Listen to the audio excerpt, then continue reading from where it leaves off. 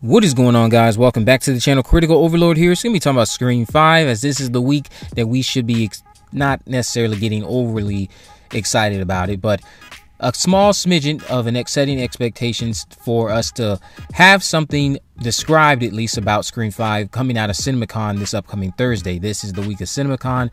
Paramount will be having its slate of films coming up presented for a time slot that I think runs a little over two hours, maybe three. Uh, and we're all, of course, us Scream fans anyway. We're anticipating that we'll get our first official look at Scream 5. It won't be released to the public, but it'll be released and shown to those in attendance at the CinemaCon Paramount panel. Now, I just want to kind of use It Chapter 2 and Halloween 2018 as reference on what we could potentially have coming our way this upcoming Thursday. So, this upcoming Thursday, what could end up happening is that they actually do talk about Scream 5. Maybe there's even an official synopsis brought out, or maybe even an official poster. But the other thing that could happen, of course, we know is they could show footage. They could show footage, whether that be a one long sequence of things uh, from the film or just a short teaser. And this would be very similar to what It Chapter 2 and Halloween 2018 did. Back in 2018 at CinemaCon, they had shown the trailer and there were little descriptions that were coming out on social media after the trailer came out. Of course, it wasn't released to the public till a couple weeks later. Same thing happened for It Chapter 2 with that whole Beverly scene with the old lady from It Chapter 2. Descriptions came out because it was shown at CinemaCon, and everyone was just waiting to see what this actually would look like when the footage got released online. So it's not that it's not that uh, unreasonable to expect that would be the same thing that happens with Scream 5. I believe that there is, of course, a 50 50 chance of them showing something and then not showing something. If they do show something, it's not going to be released to the public. What will happen though is that you'll have those in attendance who are allowed to give out very descriptive descriptions that aren't maybe depending on what they saw and what they want to and not have disclosed, they can still give descriptions and that'll just build up the hype for this footage that they all saw that we'll now be anticipating of seeing. We could get, again, like I said, an official plot synopsis that goes into more detail as to what Scream 5 will be about, not just a young woman returns to her hometown to investigate a series of vicious crimes, which doesn't point the finger on who said young woman is, whether that be Sam Carpenter, uh, Tara Carpenter, Sidney Prescott, or even another woman that we don't even know about yet. So we could get that. But if it's the footage, the footage, whatever it may be, whether that be a short teaser, a one minute long teaser, or maybe a minute and a half teaser, or just a, a scene that is from the film, we, we should expect what will happen is while it won't be footage that we see released, it'll be the same thing that happened with It Chapter 2 in Halloween 2018.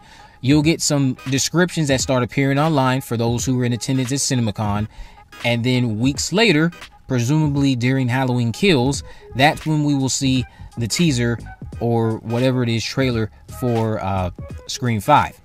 Because honestly, what they could also do, because it hasn't been officially announced to be one of the things that they show at the Fathom event, after CinemaCon this Thursday, and as the release for the 25th anniversary of Scream is nearing, they could officially confirm that hey, if you know if you go out to this Fathom event that we're having in the month of October, this upcoming um, Sunday and Monday, October 10th and 11th, you'll be one of the first first few individuals who will be getting their first look at Scream 5 because we already have expectations that Scream a bloody a bloody legacy 25 years later the featurette with all the new cast a mixture of the old cast and the directors will be shown during that. We know other vintage interviews will be shown during that. I'm not sure how early you'll have to arrive there to start seeing that stuff, but I'm, I'm positive you'll probably have to get there by at least uh, six o'clock at best.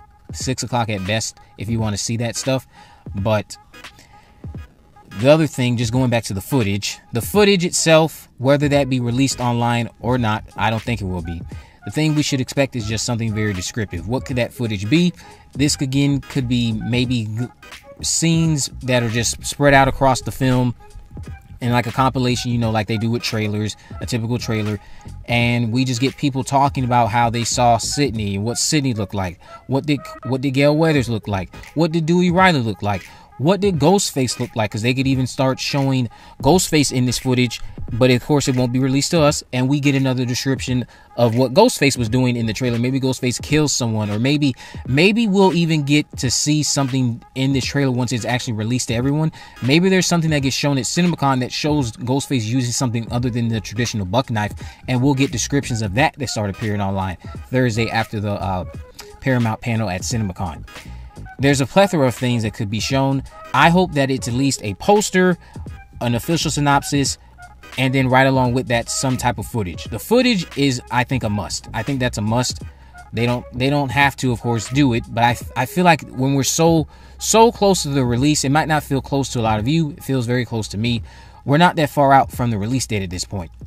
It doesn't do you any harm to show the footage at CinemaCon, show something at CinemaCon, and then have the full-fledged teaser or trailer, whatever you want to do, released during the release of Halloween Kills, and then piggybacking off of the attention that Halloween Kills is already expected to get when it comes out on October 15th.